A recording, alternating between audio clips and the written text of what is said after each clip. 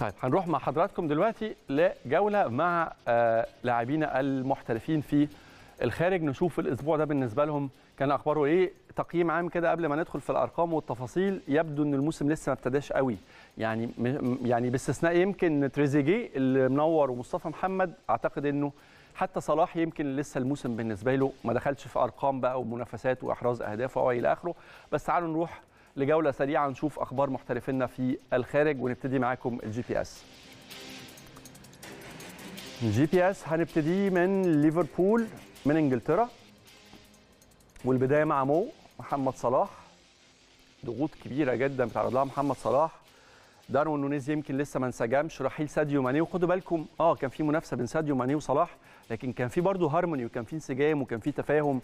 كبير بين صلاح وماني لغاية لما ده يحصل مع لويس دياز أو جوتا أو نونيز أكيد هتاخد وقت وأكيد هتأثر على محمد صلاح محمد صلاح لعب الماتش ده آه، الأسبوع ده ليفربول في مواجهة إيفرتون ديربي الميرسي سايد مباراة انتهت بالتعادل السلبي طبعا وصلاح يمكن ضيع فرصة في. في الرمق الأخير يعني زي ما بيقولوا من عمر المباراة كانت كفيلة.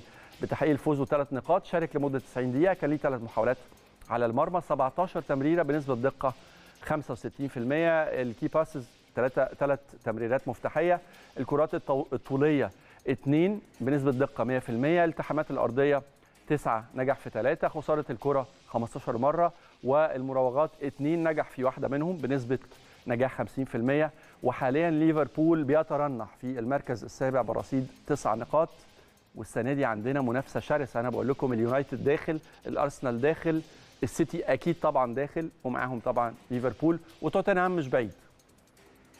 تشيلسي بعيد شوية نسيب ليفربول. وغالبا إيه هنسيب إنجلترا. لا هنروح لسام مورسي. سام مورسي في ال League 1 مع آه، ابسويتش تاون والحقيقة يمكن آه، متألق. يعني خليني أقول لكم بداية طبعا هو شارك في سبع مباريات الموسم ده. خد أفضل لاعب في أول أسبوع. آه، وأحرز هدفين.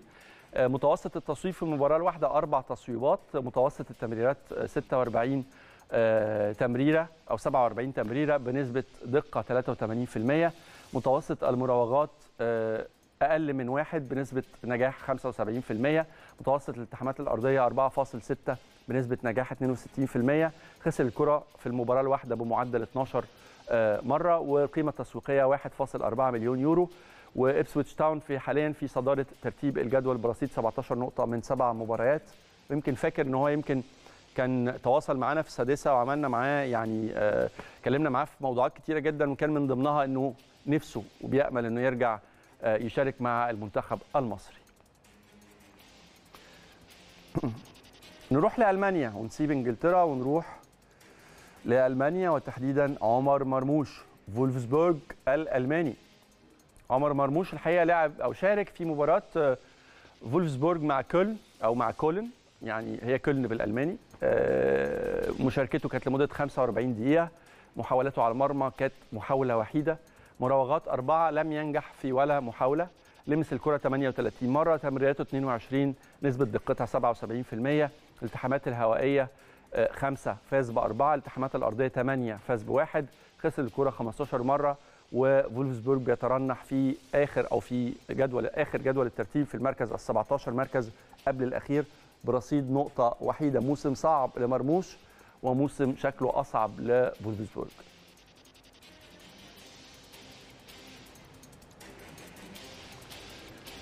فرنسا نونت مصطفى محمد وبداية ولا أروع. الحقيقة يمكن يعني بداية لا ترتبط بأي شكل من الأشكال بالمردود ولا المستوى اللي قدمه في جلاتا سراي في آه، تركيا مع الاعتبار إنه الدوري الفرنسي من وجهة نظري أقوى بكتير من الدوري التركي لعب الحقيقة في مواجهة آه، باريس سان جيرمان باريس سان جيرمان السنة دي يا جماعة غير. أنا شفت الماتش امبارح الثلاثي آه، آه، نيمار امبابي ميسي حاجة فيراتي فيراتي قصة تانية.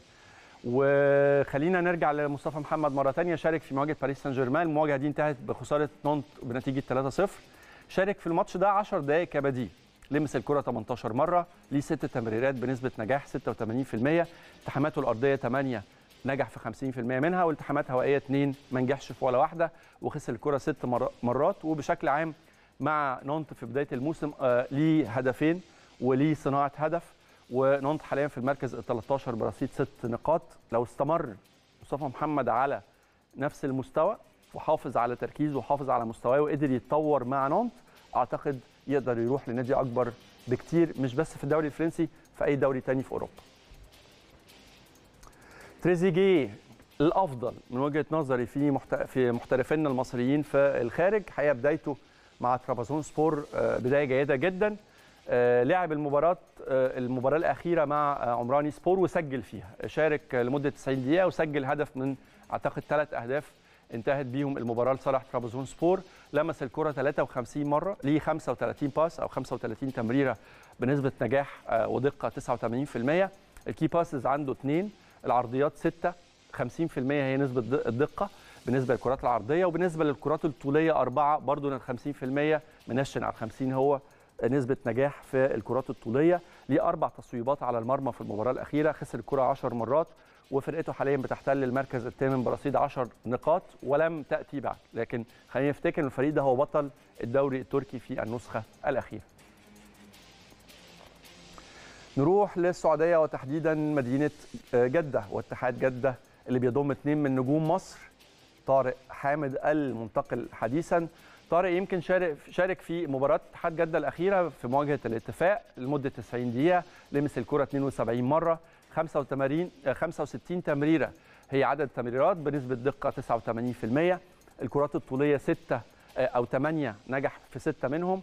والالتحامات الأرضية 4 نجح في 3 منهم. الالتحامات الهوائية 2 نجح فيهم بنسبة 100% ودي حاجة جديدة على طارق حامد خسارة الكرة 10 مرات.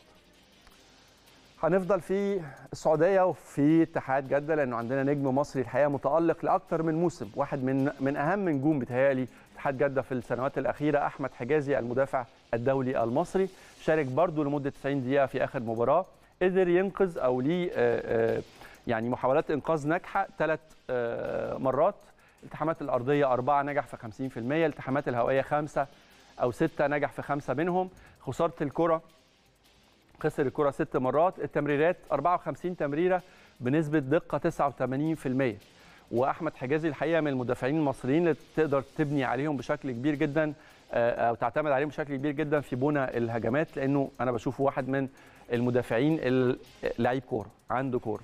الكرات الطولية 10 كرات طولية نجح في سبعة منهم والمراوغات واحدة نجح بنسبة 100% واتحاد جدة حاليا في المركز السادس برصيد أربع نقاط.